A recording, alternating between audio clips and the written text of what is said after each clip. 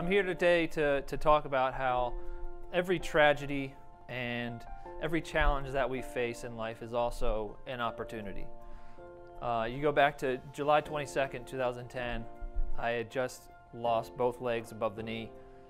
And you fast forward seven years from that, and I'm in Washington, D.C., running the last mile of my 31st consecutive marathon. And since we were running around the reflecting pool, I figured it would be a good time to kind of reflect on, you know, how I was able to to get to this point in my life, you know, going from almost dead, clinging to life to, you know, living more than, you know, I ever thought I probably would. Uh, it all started when I joined the Marine Corps in boot camp in 2006. I was a combat engineer. And the main job of a combat engineer was to breach or get around obstacles.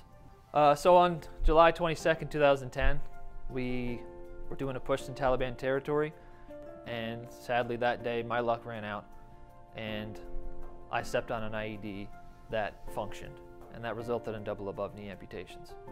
And I had to start asking myself some questions. I asked myself, is this fair? Well, I decided it wasn't fair. I asked myself, did I deserve this? And the answer again was no. But then I, had, I said, um, does either of that really matter?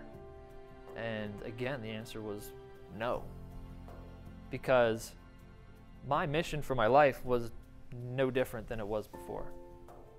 A few issues in the veteran community uh, starting to come up at that time that I didn't, I didn't really like. So, uh, you know, veterans were coming home and feeling isolated. Veterans are coming home and feeling unappreciated. Um, and then, you know, sometimes that resulted in veterans killing themselves. And, you know, there was a lot of people out there saying, well, we need to help veterans. Somebody needs to help veterans. And so I decided I was going to be the one to help veterans. I asked myself, why shouldn't I? Why shouldn't I be the one? And so that's when I created what I called Rob Jones Journey. And the reason I started it was because there's 45,000 veteran service organizations out there that are all charities. And they are helping veterans in one way, but the way that I didn't see them doing all that much was helping veterans help themselves.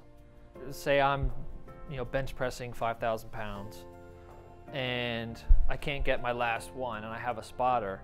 What does the spotter do? Do they just lift it up off for you? No, what do they do? They stick that one finger. They just stick the one finger out or the two fingers and they go like that and they go, all you bro, all you bro, all you bro until you get it up. We didn't need people doing everything for them and lifting that bar off for them. We needed just somebody to give them just a little bit of a little bit of help and let them do it themselves.